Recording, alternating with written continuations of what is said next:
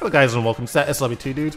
Now this is going to be a little bit of a short video just to talk about a little issue that's been affecting me for about two years but now I guess I guess around a month ago I've sort of found a fix for it and uh, now it doesn't really bother me when playing Splatoon 2 uh, at all now. Now I've been kind of holding out on this video because I really wanted to make sure that it was a thing that kind of affected people's aim and I asked several players, several top players to try this out, and you know, people in my stream to go ahead and try it out.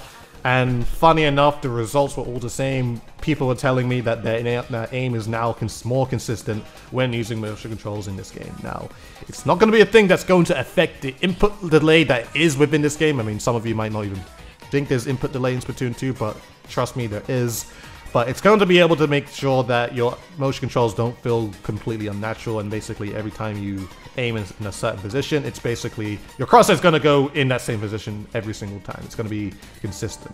Enough rambling, let's get into it. The, the first thing that you need to have to make sure that this works is that you need to make sure that you have a wired connection. This is probably going to give you the best results to make sure that this happens.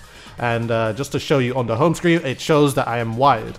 Now, the other thing that you could probably see is that there's a little aeroplane next to my wired uh, connection thing, whatever it is. And, you know, you could probably tell what I'm going to tell you next. You're going to need to put your Nintendo Switch into flight mode. Now, obviously how you can do this is that you need to be able to take off or take out your Nintendo Switch out of the dock, turn it into flight mode, and then of course turn controller connection Bluetooth on. Uh, what you do not want to press on is Wi-Fi. Do not turn this on because it, this is basically the thing that is causing a lot of a, I guess, I guess wireless interference.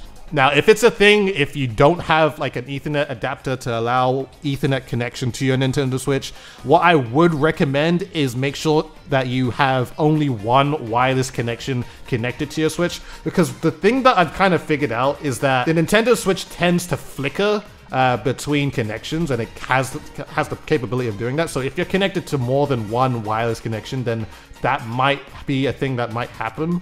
And of course, the Nintendo Switch is connecting to all these different 2.4 gigahertz connections or wherever type hertz connections. It's also going to be a thing that's going to affect your Nintendo Switch Pro controller. Now, I'm not the biggest technical guy when it comes to internet connections and Wi-Fi connections and what might interfere and what might not interfere. But for whatever reason, when you turn flight mode on uh, for the Nintendo Switch, it just seems to work.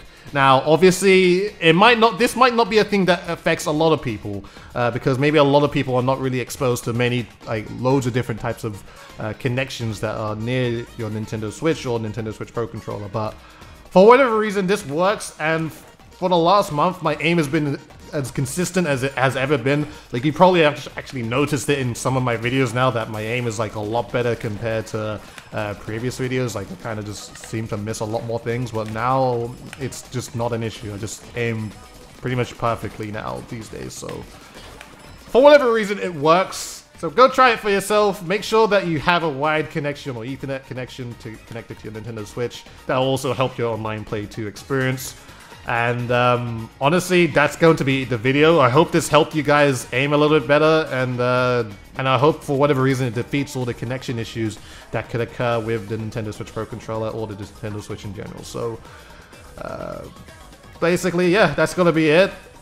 Nintendo, please make wired connection for your Nintendo Switch Pro controller a viable option. Make it so that input lag is not a thing, because for whatever reason, when you put wired connection to your uh, Nintendo Switch Pro controller, there's even more input lag than ever, when it should be com the complete opposite. So yeah, that's basically it. Hope this helped, and I shall see you guys in another video.